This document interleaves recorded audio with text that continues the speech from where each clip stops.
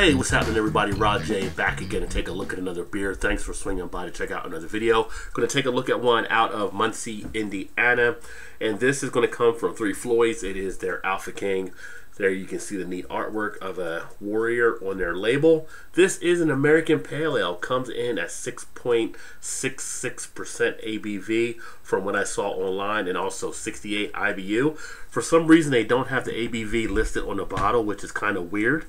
But um, it talks about Alpha King is a bold yet balanced American pale ale with slight sweetness and aggressive citrus hoppiness.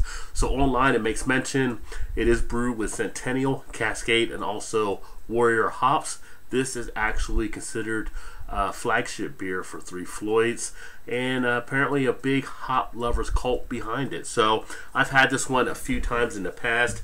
First time I'm ever doing a review on it.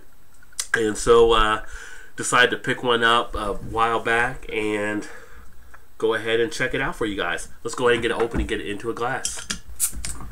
So there we go, get it into the glass. Actually ended up pouring a little more aggressive than I wanted to. So ended up with a little bigger of a head, about a three to four finger almost. Well, maybe two, two to three.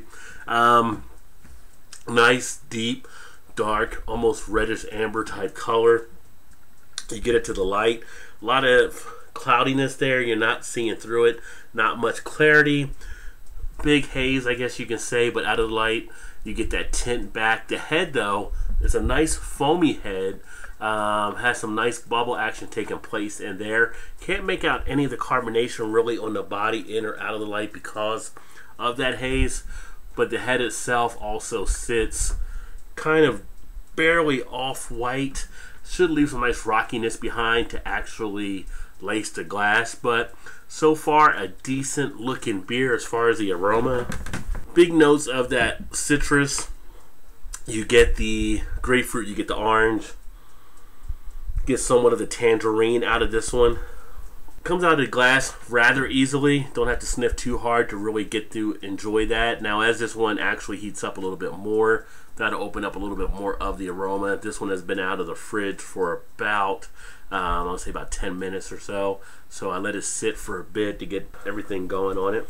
Get a little bit of that pine and dankness on the back end as well from the hops. But all in all, pretty decent pale ale. I mean, there's no mistaking it. Once you take that sniff, you tell it's an American pale ale. As far as the taste, the taste seems to bring some big flavor with it. I mean, it opens up nicely in the mouth, kind of an explosion. Gets off the tongue rather easily. I'm picking up those uh, flavor notes of the citrus from the hops. Get a slight bit of that malt backbone. It's got a nice balance on it.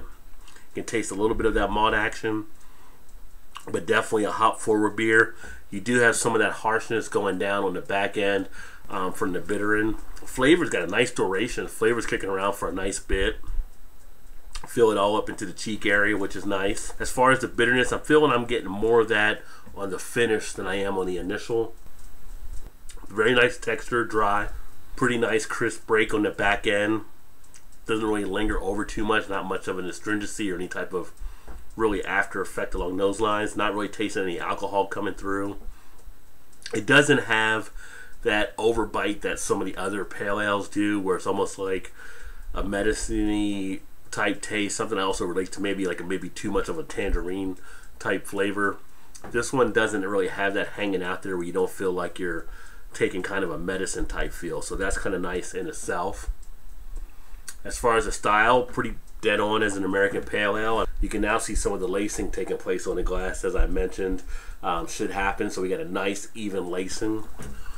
I do like how it awakens the taste buds at the front of the mouth pretty nicely and that really gets everything else starting to pop. Definitely a nice one to have with some spicy type food, like a lot of American pale ales. Um, you can really enjoy something like the, uh, that with this kind of beer. And you can also put something like with the burger as well. But all in all, not a bad one. I'm like I said, I've had this one before, just I've never done a review on it. But um, definitely solid. Definitely one I would recommend for anybody that likes American pale ales. I think this is definitely one to check out. And again, this is the Alpha King from Three Floyds out of Muncie, Indiana.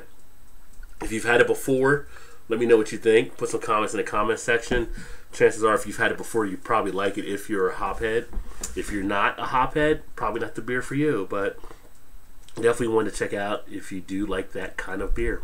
So with that being said, I appreciate you swinging by and check out another video. Hopefully you like what you saw there. I look forward to trying to catch you on the next one. And as always, please remember to like, comment, share, subscribe, and all that good jazz. And I look forward to seeing you next time. Keep drinking good craft beers. Cheers.